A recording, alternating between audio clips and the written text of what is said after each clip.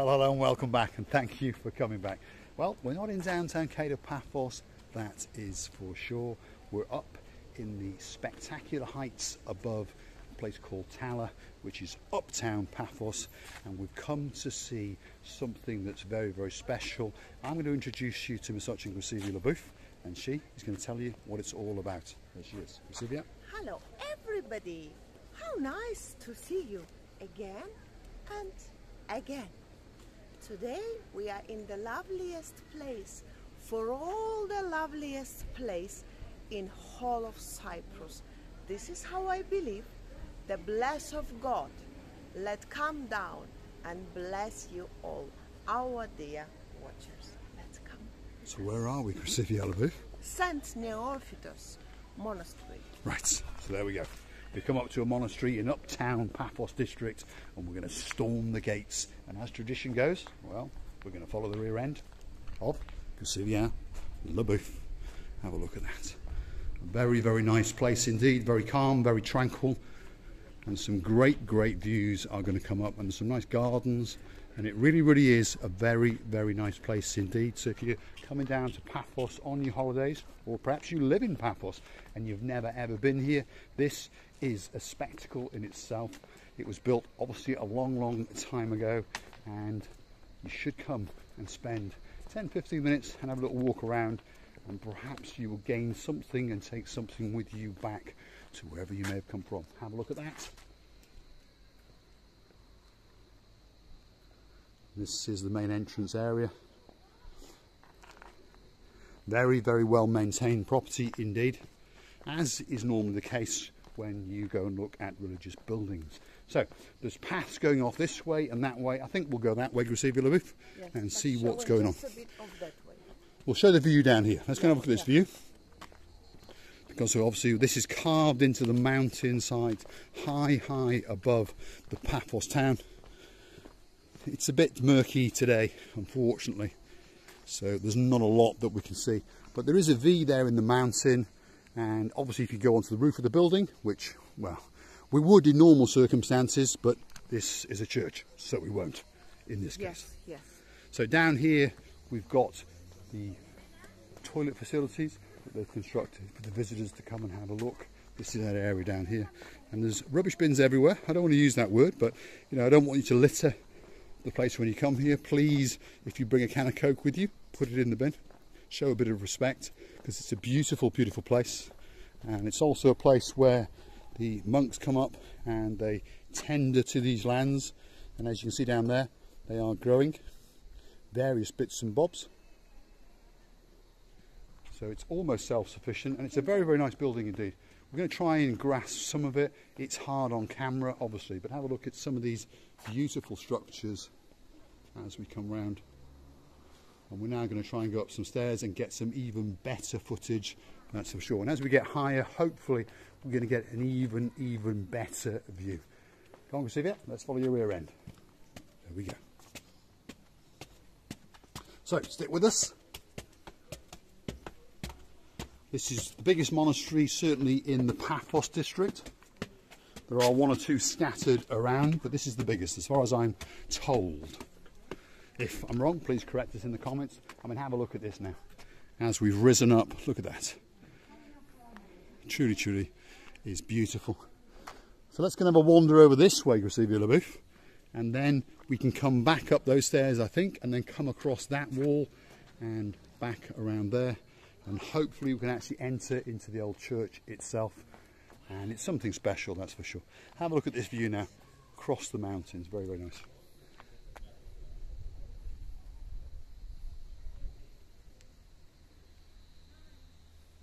And there certainly is a calmness up here, that's for sure. I do think somebody is touching it, and it's carved into the mountainside. You wait for this. Look at that as that structure is bedded into the rocks. Wow. That's a lot of work that was done a long, long time ago. And you do wonder how some of these crafts and that knowledge has been lost over time. Now a bit of chipboard and a sticky plaster and, and we're done. That's a work of art. Have a look at that.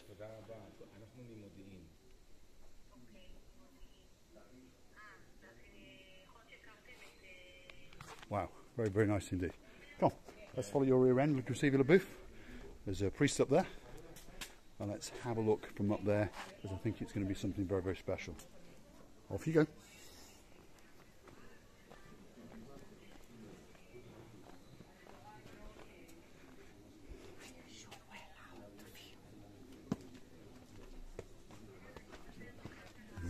Receiver booth, all concerned, I'm about to film. Well, whether we are or not, we're going to. So that's an overflow for when the uh, river in the mountains overflows and it comes rushing down there. Otherwise, of course, it would flood the mountain sides and cause damage to the monastery. This is old. Have a look at these steps.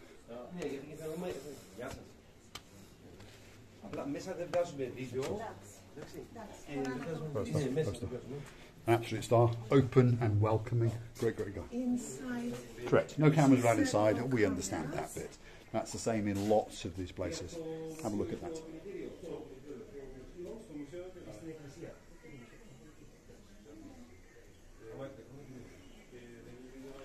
absolutely spectacular. And we understand why there's no cameras allowed inside. There's works of art in there, there's gold, there's treasures. Those things are worth a lot of money, so that shouldn't be on film.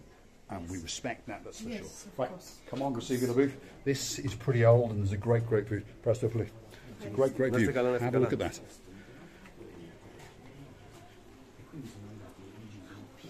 It's beautiful, beautiful, yeah and if you understand the work that's gone into it. Right, let's get back down Grazivia and get across those walls over there. Very, very welcoming man indeed. So stick with us. Here we go.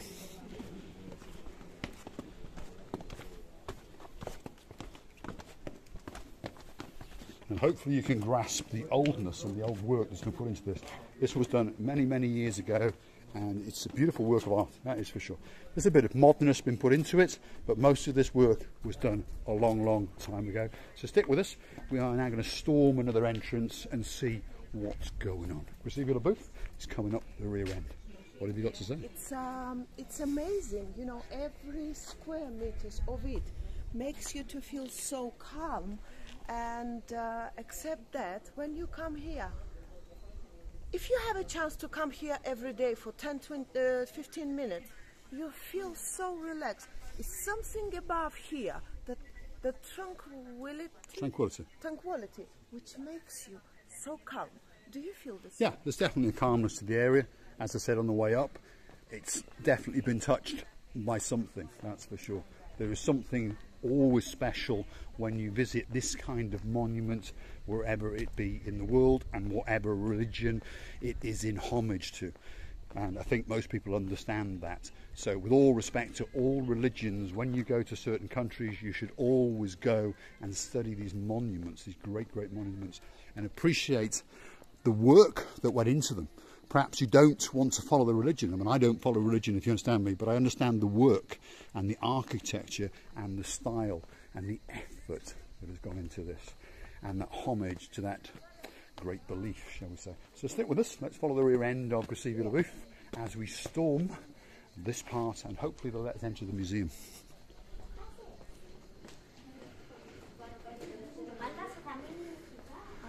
So that's a gift shop. to show something uh, because some of the tourists may come here without any good dress up. So the okay, shoulders shouldn't be not open and not very short, uh, short dress or skirt. Mm -hmm. As a sign of respect. they have these ropes in order to drop yes. on you okay. and in order to show the respect to the place. Yes.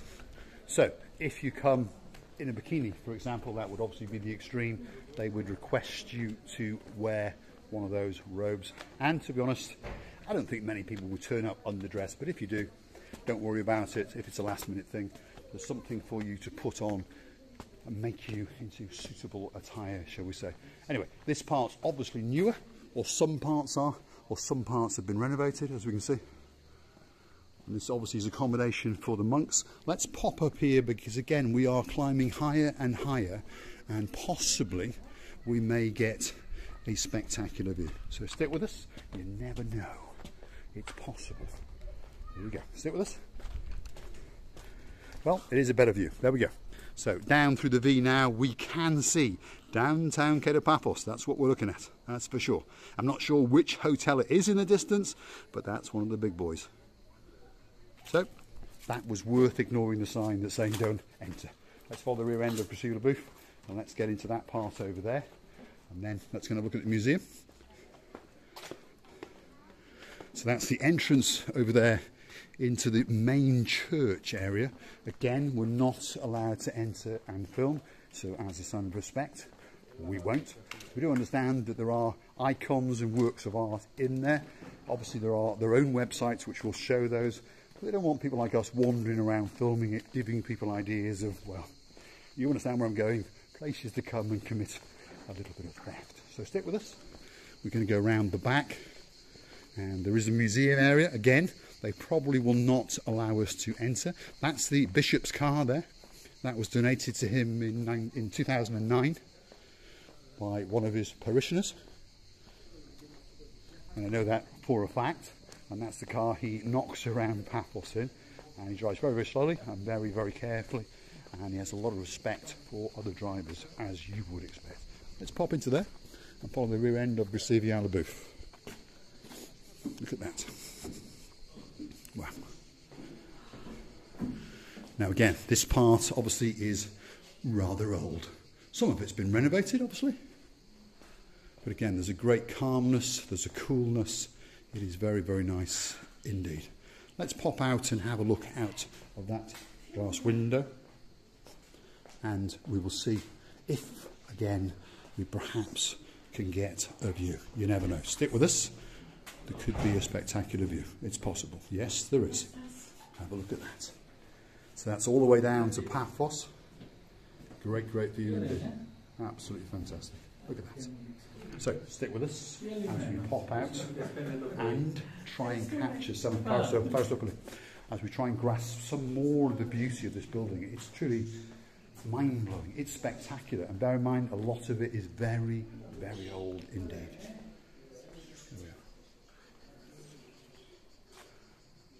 and that's all the way up to the very, very top. And again, this has been carved out into the mountains. Some nice tranquil gardens, birds all over the place. Like. Truly beautiful, truly beautiful, yes. Absolutely spectacular. So stick with us. Here we go. Again, some more ornamental gardens over there. And as we go around the perimeter, and hopefully out of this window down here, hopefully, again, we will get a truly, spectacular view but I can't stress enough how tranquil the place is, how calm the place is, and on top of all of that, you've got some very, very nice views indeed. So stick with us. Let's have a look out there. Trees are in the way on that one. It's so beautiful. You know how nice air is going around there is. There's here. a nice flow. And it's so nice to be here. Then you feel more calm. Yeah, so there's a nice flow. So stick with us. We're now going to pop down and get ourselves back to the main entrance. And obviously, as tradition goes, it will be time for the very, very good goodbye. The booth has fallen in love with the tree again. She's got a thing about trees. Look. There we are. very, very well tended tree. And a last look at that rather beautiful or ornamental garden. Very, very nice indeed. So stick with us. We are going to mosey on down, give you a final look at the church. There it is.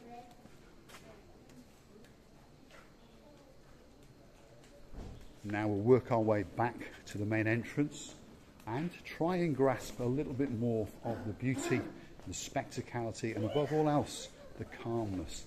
It truly, truly is very, very nice place indeed to come. So stick with us.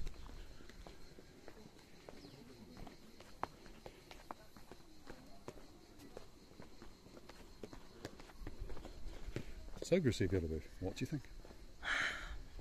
You know, I'm uh, so satisfied of what I have seen because um, nowadays it's so much hustle and bustle, as you say, and to go away from all this hustle and bustle to come here for 10 or 15 minutes, it doesn't matter, you're religious or not, you just come in here and you feel, let me say, renovated, different person. Yeah, I think those are the correct words. Terminology's not quite correct in English, but yes, you've got the understanding of what she's trying to say. It's calm, it's cool because we're up in the hills.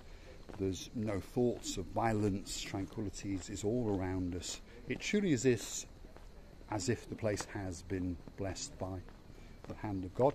And we understand that all religious monuments to whichever faith it may be, wherever around the world it is, have that same vibe and that same sense. So wherever you are on your travels, in this case you're watching a video about Paphos, so but wherever you are, whichever country you go to, it could be very nice and calming to go and visit one of their religious monuments to the god, as we say. And you can take with you then some calmness and some tranquility and some beauty into your life and, well, hopefully we'll all become better places. Now, as we go to leave, we're going to storm the entrance the wrong way and follow the rear end of Grisivia LaBouffe, and I'm pretty sure that she's going to give us a very, very good bye indeed. It was just so beautiful that this is of the moments when I say that I swallowed my tongue. Uh, people, you should come here, you should enjoy the driveway, and then you should enjoy this tranquil places all the time, wherever you look, wherever you go, non-stop.